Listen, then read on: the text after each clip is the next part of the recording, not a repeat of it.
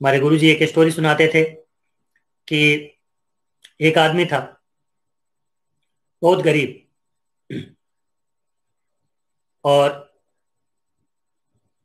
घोड़ों का बहुत शौकीन था, घर में घोड़ा रखे हुए था। हमारे गुरु जी की सारी स्टोरी घोड़ों पर ही है, ठीक है?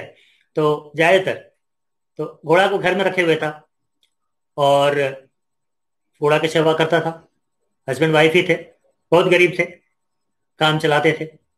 एक बार एक संत उनके घर आए। रास्ते से गुजर रहे थे। शाम हो गया। इनका झोपड़ी दिखा। झोपड़ी में आ गए। इनके घर में आ गए और आकर के बैठ गए। लोगों ने उन्हें खाना वाना खिलाया। उनका सेवा किया। खाना वाना खाने के बाद सो गए। जब सुबह उठे तो देखने लगे कि भाई इस आदमी की परेशानी का कारण क्या है? ये इतना गरीब क्यों है? इतना दुखी क्यों है?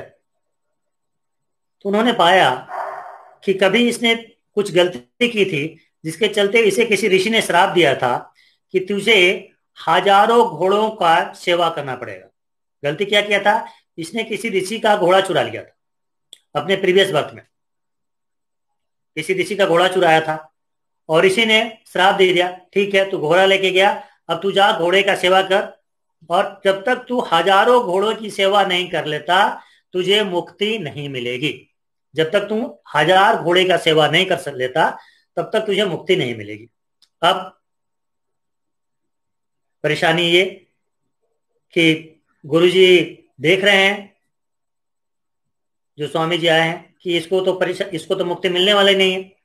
और देख रहे हैं, इसके घर पर तो एक ही घोड़ा है। गरीब आदमी है, पंडित है, ज़्यादा घोड़ा भी नहीं खरीद सकता, दो चार दस घोड़ा भी नहीं ले सकता। अब सोच में पड़ गया कि भाई हज़ार घोड़ा तो इसको हज़ार जन्म लेने पड़ेंगे। अगर ऐसे एक एक घोड़ा एक एक जन्म में रखेगा तो क्या किया जाए? तो उसको उपाय बताए। उसको बोले कि मैं तुम्हें कुछ बताता हूँ, तुम इसे करो, तुम्हें फ़र्क पड़े, सब कुछ चेंज हो जाएगा। बोले, क्या? तो एक स्कूल बनाओ, एक छोटा सा स्कूल बनाओ, जहाँ आस पास के गाँव के बच्चों को लाके पढ़ाओ। तुम पंडित हो टीचर हो, शिक्षा देना तुम्हारा काम है तो तुम भिक्षा मांगो, लेकिन दो चार बच्चों को लाके पढ़ाना शुरू करो। वो दो चार बच्चों के घर से जो खाना आएगा, उसे तुम्हें भिक्षा नहीं मांगना पड़ेगा, और थोड़ी सुधार होगी। लेकिन अब तुम्हारे पास पैसे नहीं तो करोगे कैसे?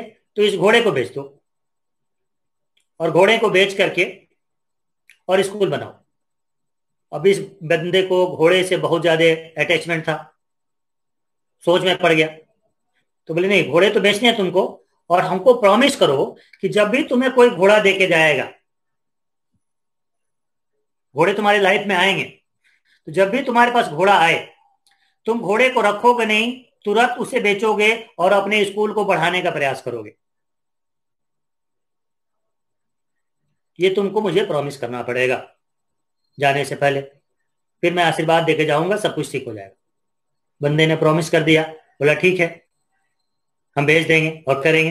अब वो अपना एक घोड़ा बेचा और घोड़ा बेच के छोटा सा स्कूल बनाया और गाँव में जाके बच्चों को लाया पढ़ाने के लिए। अब जो गाँव वालों को मालूम हुआ कि पंडित का सबसे प्रिय घोड़ा था और हमारे बच्चों को पढ़ाने के लिए इसने घोड़ा बेच दिया तो गाँव वाले क्या किए? दो घोड़ा लाके रख गए। खाने पीने का तो व्यवस्था किए दो घोड़ा ला के रख दिए। अब ये दो घोड़े को फिर से बेच दिया दो घोड़े को बेच करके स्कूल को और बना, बनाया और आसपास के गाँव तक पहुँच गया। तो एक दो गाँव से और ज़्यादा गाँव तक पहुँचा। अब जब दस पंद्रह गाँव तक पहुँच गया तो ये दस पंद्रह गाँव के लोगों को पता चला कि घोड़ा बेच के लिया है। तो सब लोगों ने मिलके दस घोड़े इसके यहाँ पहुँचा दिए। ऐसे करके ये बेचते गया और स्कूल को बड़ा करते गया। धीरे धीरे बात राजा तक पहुँची। तो राजा ने अपने सारे घोड़ों का इंचार्ज इसको बना दिया कि आपको जिस घोड़े की ज़रूरत है ले जाओ। ठीक है? तो एक ही लाइफ में उसे हज़ारों घोड़ों की सेवा करने का मौका मिल गया। मतलब क्या? उसे मुक्ति मिल गई। उसकी परेशानी भी खत्म हो गई और उसे मुक्ति मिल गई। तो इसलिए कहा जाता है कि संतों की संगत से परेशानियाँ दूर होती हैं। अगर सही संत मिल जाए तो सही रास्ता बताते हैं। और उस रास्ते पर चलने पर हमारी परेशानी जो होती है, हमारे जीवन की जो परेशानियाँ होती हैं, वो दूर हो जाती हैं और हम परेशानियों से बच पाते हैं। ज़रूरत है किसी के जीवन में आने की और हर किसी के जीवन में कोई ना कोई संत आता है, कोई ना कोई समय आता है जब उसकी परेशानी दूर होने वाली हो।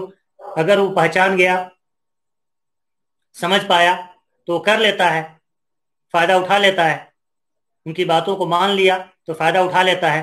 जो बातों को नहीं मान पाता, जिन्हें विश्वास नहीं होता, जिन्हें भरोसा नहीं होता कि बोल रहे हैं, पता नहीं ऐसे कुछ होगा भी कि नहीं होगा तो कुछ नहीं होता। जैसे पंडित जी सोचते कि मैं घोड़ा क्यों बचू? ये बोल रहे हैं, घोड़ा आएगा, घोड़ा कहाँ से आएगा? और बच्चों को पढ़ाना शुरू करेंगे तो खाने का भी दिक्कत हो जाएगा। गाँव वालों ने खाना नहीं दिया तो मैं क्या करूँगा? और इस तरह के प्रश्न आते तो पंडित जी तो ऐसे ही बस भिखारी ही रह जाते। तो इसलिए ज़रूरत है थोड़ा सा चेंज लाने का। थोड़ा चेंज लाते हैं अगर हम तो बहुत कुछ चेंज हो जाता है। बस थोड़ा सा भरोसा और थोड़ा टाइम की बात है। थोड़ा सा बिलीव करके आगे बढ़ने की बात है। थोड़े दिन की परेशानी होती है, बाकी परेशानी दूर हो जाती है। किसी भी फैमिली में ज़िंदगी भर परेशानी नहीं रह